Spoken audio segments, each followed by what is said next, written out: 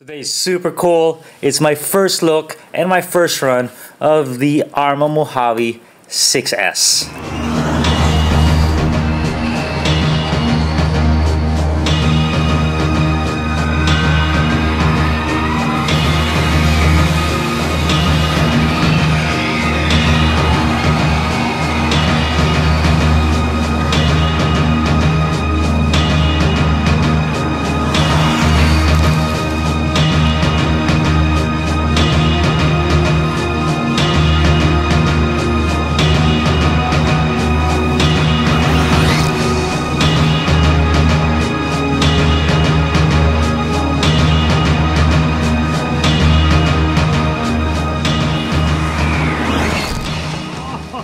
So here it is, Arrma Mojave 6S, one of the best vehicles available today, bashing vehicles, allegedly.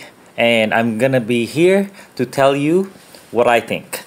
So about six months ago, I, I got the Arrma Senton, uh, the little brother, 320 bucks, six pound vehicle, and I loved it. I was really impressed, and a lot of people said if you like that, you're gonna like this. It's the best vehicle that Arrma's ever made.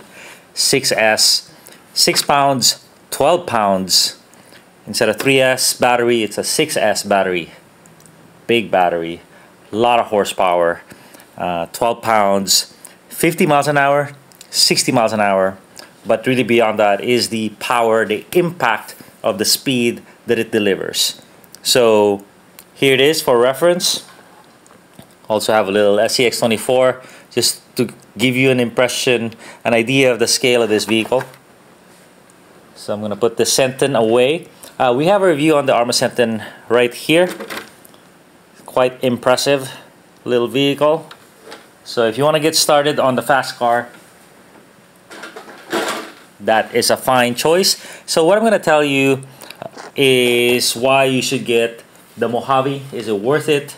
You know, a lot of money. So let's go through the price. The price is 630 bucks for the ready to run. This is both of them are ready to run vehicles. All you need is your your LiPo battery and your double A's for the transmitter. About 150 to 200 for a 6S battery. It can do 4S, but who wants to do that? You definitely want to do 6S to at least experience what you're paying for. You're paying for the, the, the power and the impact of this vehicle. So here it is. Uh, it comes with a not very good radio. It's called the STX2 uh, because they were bought by Horizon which owns what's this company Spektrum where they developed a very very low cost uh, radio for for all the vehicles. Unfortunately, they're putting the low-cost radio on a missile. so it's a little bit of a liability. But I made it a point to do all my running today with a stock radio, just just to see if it can do how, or on how it does, and do, do you need to upgrade it uh, at all or right away. Uh, and we'll have impressions of that. So here's what I'll do. I'll go through the outside first and then jump right into the inside on what makes this vehicle special. So the outside of it is unbelievable. So much detail, so much engineering, so much flashy paint. So the paint, definitely not crazy about. Neon green, I should have gotten the, the red, but uh, the back order was a little slow for that. By the way, I've been waiting for this for four months. This was released exactly 12 months ago, quickly out of stock at AMain. Um, and then I finally pulled the trigger four months ago and I've been waiting, waiting, waiting, and it finally came. So that's why I'm doing a review a little bit later than all the rest of the YouTubers. It's because uh, I have to buy my own kits. I'm not given uh, this because if you're given the kit, it kind of means you can't say anything negative about it. can't be honest. so I'm here to tell you the, the God's honest truth, or the truth as I know it. So here it is. Beautiful body, beautiful shaping, detail. Uh, it has a, an, an interior, two drivers, a cage that's actually functional. This is a real roll cage. It has no window, so you're gonna get a lot of um, wind going through the, the, the cabin. uh, which is wind resistance, but they put vents all over here, so it, will let the the uh, the wind right through. But this is still gonna interfere with your top speed, you know, as opposed. Imagine your car having no windshield. So, a couple other details. Whew, 12 pounds. This is reinforced right here. You're gonna crush your Lexan anyway, so they put some very hard, replaceable reinforcements over there. Has a little bumper here and you're like, how's that little bumper gonna protect this this gnarly vehicle? Little skid plate here, and the bumper on the rear is amazing. It's awesome. The tires are very hard to, uh, to take the power and the beating that, you, that you're gonna deliver. It's higher profile on the outside uh, to take those hits, to take those rocks, and in the inside, it's lower profile. So it's a dual profile higher and what that gives you is a little bit of stability uh, when you're doing your donuts or your high-speed turns okay so uh, the body pins are uh, body clips are cool because they are big and they are attached it's a little hard to to get the the posts out in the holes unlike the Senton super easy uh, because the, the the pins are, are always moving it's hard to find them and they're kind of they press down. Uh, they, they disappear when you press down on it. So it has Velcro here. Stabilize it, make it quiet. Inner, uh, reinforced with with some some nice tape where it's gonna get scratched. So they already thought of it. And this is really cool. This is that roll cage I was talking about. That's really functional. So to prevent the the cabin from collapsing your drivers getting injured or just everything getting messed up. They have a cage here and this thing has some spring to it, absorbs shock, and it is captured right here, right to the chassis. Amazing, huh? And really, the magic of this vehicle is probably the, the strongest vehicle in the Arrma line. Not, be, not just because of the engineering, but because of the shock, shock absorption. This thing is a big, giant shock absorber. So the body right there, you know, short course trucks, they, they take a hit, they dissipate the energy, and they make it disappear. Dissipate, dissipate, disappear. And this is all about dissipating energy. So right here, where your body goes, uh, a lot of flex built in. Anytime you see a loop, what that's meant to do is meant to act like a spring. That's probably about half inch travel, front and rear. So not just one little contact point, but a wide contact point with foam, and this whole thing is a spring. Over here, this bumper is, is a big shock absorber. These two loops, those are springs. So you can see when you press on it, that thing will move millimeters uh, and take the hit. This thing, not just a handy handle, but it, it captures the, the Lexan and, and, and it'll, it'll flex every which way to dissipate energy. Same thing with the rear, up and down, and this rear bumper.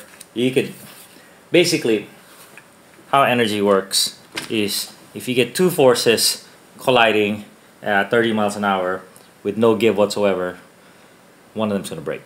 Uh, but if you get them to, to dissipate the energy, uh, the energy just kind of goes away and the two structures are left more intact. Okay?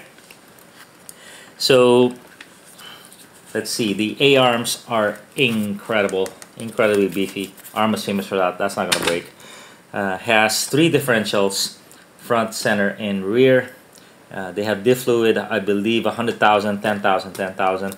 So a little less give here, meaning it will it will do its four-wheel drive, but a 10,000, you know, it has a little bit of resistance, um, but it's it's it's got quite a bit of give as well.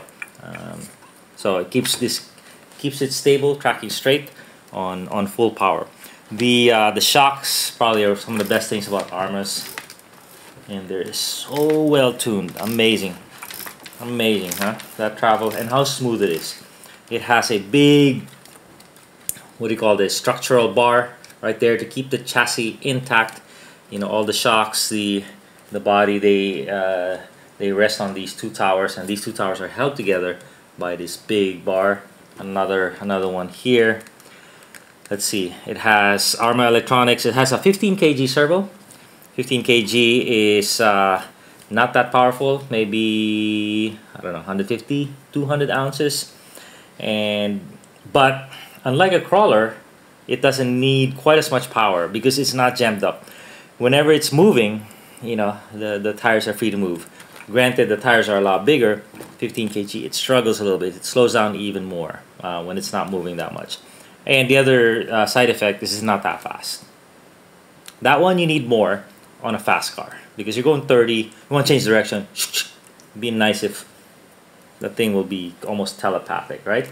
It has a uh, this motor 2050 kV so pretty fast motor. And this ESC with a big fan uh, someone said it was a, a, a, private labeled Hobbywing, which could be good. I wonder if it's programmable. Switch is right here. I wish the motor had a heatsink or a fan. It does run hot. But the Senton had a heatsink a nice little heatsink. So there you go. Battery huge compartment for the battery. Has this massive cable. I don't know why there's so much cable. I think you could put two 3S batteries if you are if you don't have a single 6S. But here you go. So 630 bucks. 150 bucks to 200 so now you're doing 830 you need a charger 900 so boom quickly you're at 900 really a thousand if you're gonna get into this kind of vehicle so is it worth it? If you have the funds and more important, you have the skill and the space, I think it's worth it. I mean, it uh, it it it really is redefining the category on how much speed and impact a vehicle has, but also how much control. Easy control. My first day with it, I only hit rocks, big boulders twice, and that's because I wasn't looking. Also, the uh, the, the the the brake the braking is kind of kind of weak. Steering is a little slow, but it's plenty good. I mean, I had so much fun, just even on the first battery pack. The other thing you need to do is you gotta have the space. You gotta have the space for this, where you're not gonna hurt anybody, where you uh, it, where it's uh, dirt preferably, and hopefully there's there's some some obstacles, some jumps, uh, where you could let this thing fly. So it's kind of the summary. The um, you know first impression, the, three the the Senton is kind of a, a, a nice toy, but this thing is a beast. it's no 8S or it's no fifth scale, but man, it's exactly what I want. You know, ground pounding excitement, uh, so to speak. And really, the body uh, is able to handle what the motor can dish out. Uh, so definitely go, go for 6S. Uh, you can always tune down your uh, electronics if you don't want the full power of it right away. So what we're gonna do with it, uh, we'll do this first video uh, and then we're gonna do a next video where we'll give it the full rundown, beat, beat up on it, really do some jumps with it, you know, do the full review. And then we're gonna upgrade it. RC review, we gotta upgrade it, right? What are we gonna upgrade it with? Well, not the battery that's already done. We'll put a fan. We will put a this sweet easy run Hobbywing 150 amp per 8 scale max 8 and the 42 74 and we'll see what we gain out of it. You know do we gain more control a little more modulation. This is thing. This thing's kind of wild. You know, when once you once you gas it, it just just wants to go. It doesn't want to go slow.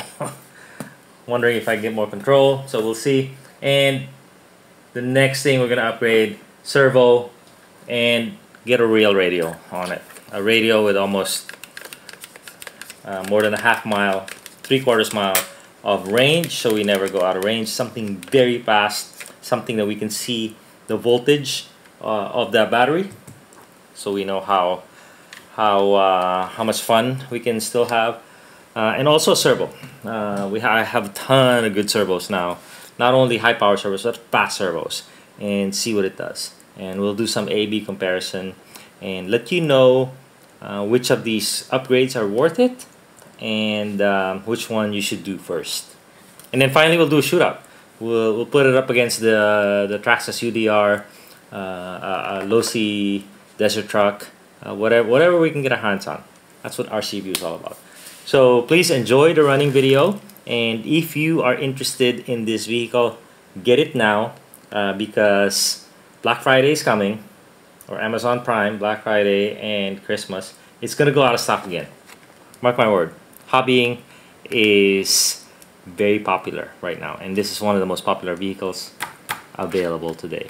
But uh, for my first impression, I was floored and, hope you are too with running video. Enjoy.